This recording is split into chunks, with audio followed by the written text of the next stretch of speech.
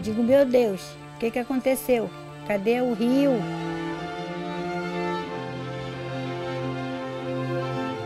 Se criamos aqui olhando para o rio, vendo os barcos passar, canoa passar e hoje em dia só praia, só deserto.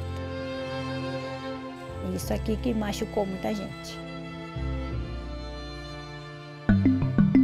2023 foi uma seca histórica.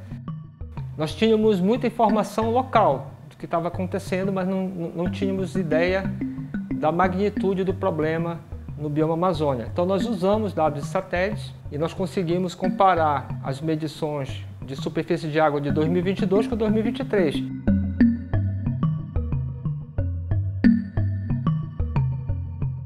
Nós registramos 3,3 milhões de hectares de perda de água. Então os dados de satélite confirmam o que outros especialistas estão dizendo.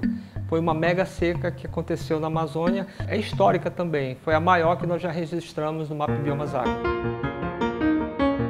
Uma das causas o fenômeno del Niño e outras causas é o aquecimento excessivo. Durante a estação seca, junho, julho, agosto, o volume dos rios cai porque o volume de chuva diminui, é normal. Ya después comienzan las lluvias, volumen de lluvia aumenta y el nivel de los ríos comienza a subir. Entonces lo que aconteció fue que no llovió, o llovió muy poco, o poco que llovió evaporó y ahí nos vemos que los ríos ficaron más rasos y eso continuó durante la primavera, septiembre, octubre, noviembre. Menos chuva, más temperaturas muito altas. Então o nível da água ficou muito baixo e com a temperatura muito alta do ar, né, também esquentou muito a temperatura da água que chegou a 40, 41 graus Celsius, que é assim completamente sem precedente.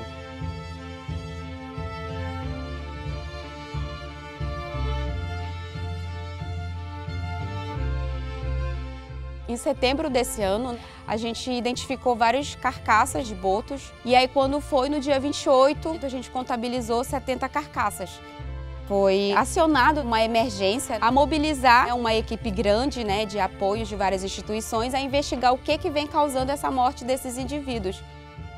Até agora não foi identificado nenhum patógeno infeccioso, né, assim, um bactéria, vírus, nada desse tipo. Também pelos sinais clínicos né, das necrópsias e tudo mais, tudo indica que esses animais morreram por estresse térmico os botos morrendo, na verdade, é só a ponta de um iceberg muito maior. O aquecimento global é um processo natural, só que as atividades humanas estão acelerando esse processo. E aquelas mudanças que nós esperávamos daqui a 100 anos já estão acontecendo.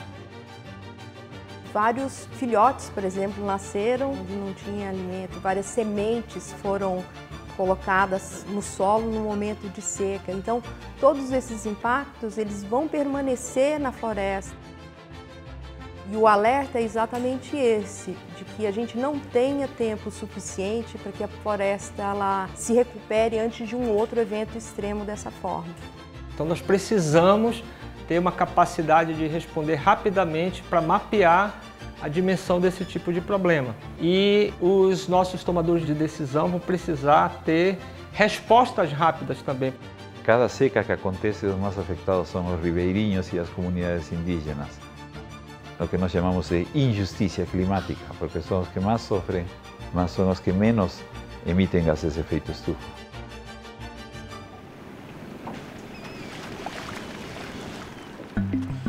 Mas agora eu estou feliz, eu estou alegre porque eu estou vendo, né? A água descer é uma alegria para nós. Para mim é uma alegria.